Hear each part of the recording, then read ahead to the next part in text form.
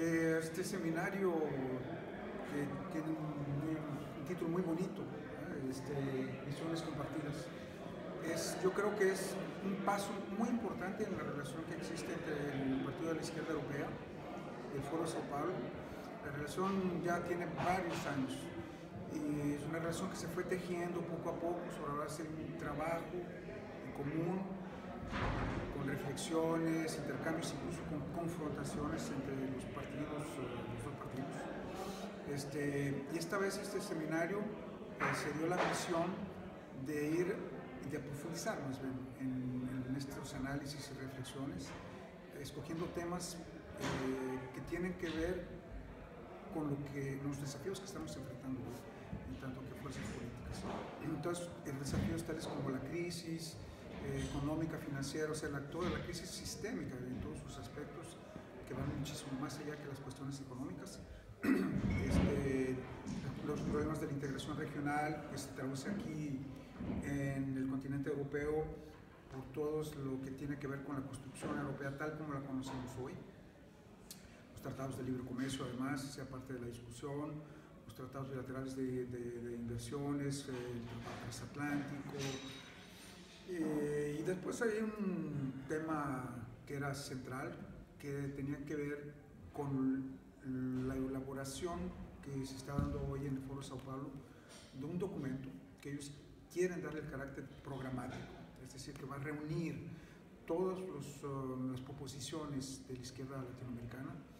eh, que no es que sea algo que va a ser aplicado a la letra, eh, que no es una especie de, de lista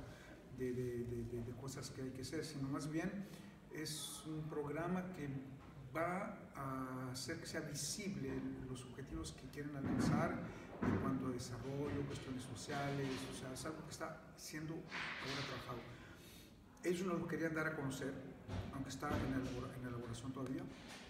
es lo que se hizo, y nosotros de nuestra parte, la, lo, lo, que hizo el, el presidente de, de Izquierda Europea, Pedro fue eh, exponer lo, los trabajos que, que, tiene el Congreso, el quinto Congreso del Partido de la Izquierda Europea, este, cómo funciona eh, el partido, qué es, pero sobre todo esa, esta cuestión de, de, más bien programática, vamos a decir. Eh, después tratamos de profundizar en temas diferentes eh, y le pedimos a algunos compañeros de que nos dijeran cómo ellos declinarían estos grandes temas este, globales, a partir de introducciones que nos hicieron compañeros de una gran calidad, que venían de América Latina, como Rodrigo Cabezas, este, economista y exministro de la economía venezolano,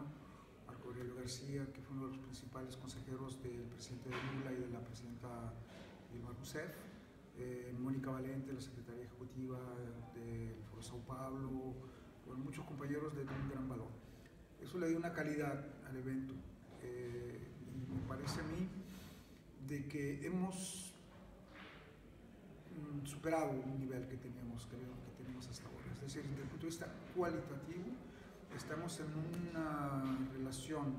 les digo otra vez, fundada sobre el trabajo en común.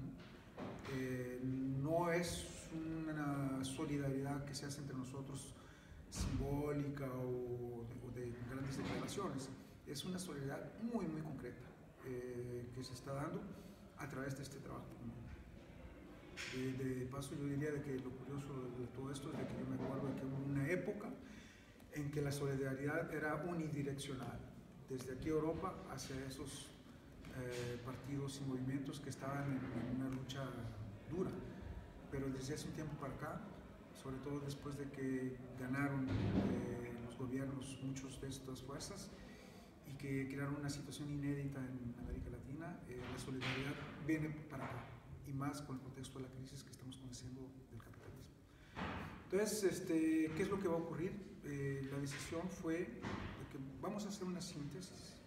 de todo lo que se, se sobre todo sobre los grandes, los grandes temas, eh, primero para darlos a conocer, para compartirlos, para que sea algo que pueda ser accesible a, a, cualquier persona y no solamente a los miembros del Partido de la Izquierda Europea y del Foro Sao Paulo. Eh, es una contribución también este, a, a, la reflexión que tienen nuestras izquierdas hoy eh, sobre las alternativas. Y eh, además este, va a ser la base para el próximo seminario, porque sobre todo no queremos detenernos ahora, queremos ir muchísimo más lejos en este trabajo. Eh, y lo que también me parece muy positivo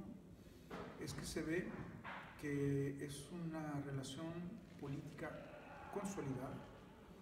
eh, que no fue tan fácil al principio, eh, pero es un hecho, es una relación consolidada, no nada más desde el punto de vista político, sino también desde el punto de vista de, eh, se ha tejido, vamos a decir, relaciones muy de gran confianza entre nosotros, que van a permitirnos de ir hacia convergencias, iniciativas comunes sobre temas que nos parecen que que tienen que ser tomados en cuenta porque tienen una dimensión eh, que es pertinente, eh, que es una dimensión regional o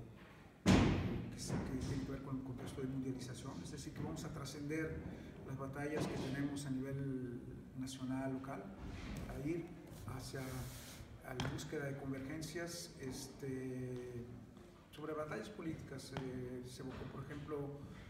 la cuestión de la batalla para Em, parar eh, la, evasión fiscal eh, y este, contra los paraísos fiscales, que tanto daño causan aquí en Europa como en América Latina y, en otros países. Hay otros temas más, hay otros temas más que, han sido evocados. Todo esto lo vamos a poner en, un documento y, eh, como decía antes, este,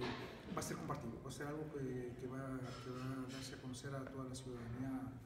eh, de los países de Europa y de América Latina. O sea que todavía tenemos mucho por hacer eh, y se puede decir que estamos saliendo, eh, como decir, es un buen punto de partida el que tenemos aquí.